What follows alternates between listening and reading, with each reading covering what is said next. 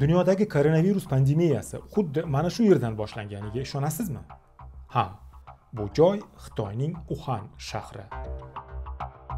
Mana bu basseyn bo'yidagi ko'ngilxushlikni oling. Biron kishi na ijtimoiy masofa saqlagan na niqob taqqan. Yuzlab odamlar go'yo koronavirus yoki karantin hech qachon bo'lmagandek xursandchilik qilmoqda. Uxanda ilk koronavirus topilgan. Yanvar oyida esa birinchi bor karantin ham shu yerda kiritilgan. May oyigacha xitoy virus tarqalishini qat'iy nazorat ostiga oldi.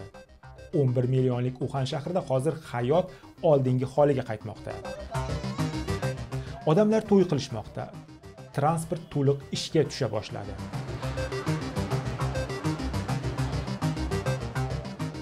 Do'konu bozorlar restoranlaru oshxonalar ishlamoqda. Aksar odamlar hatto niqob ham taqishayotgani yo'q. Xullas xitoyda hayot risoladagidek. Biroq dunyoning boshqa joylarida karantin yo cheklovlar hukmron. Ko'p davlatlar koronavirus bilan kurashishga qiynalmoqda. Markaziy osiyoda ham xususan koronavirus yozda kuchaydi. Birgina qozog'istonda virus yuqtirganlar soni xitoydan ko'proq.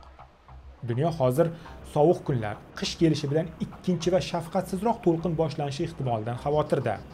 Ko'p davlatlar xitoydagi bayramlar u yoqda tursin risoladagidek hayotni ham tasavvur qilolmaydi.